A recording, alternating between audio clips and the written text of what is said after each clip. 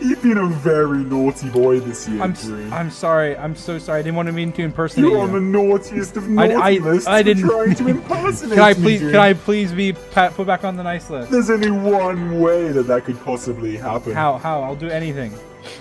Anything you say? If you insist.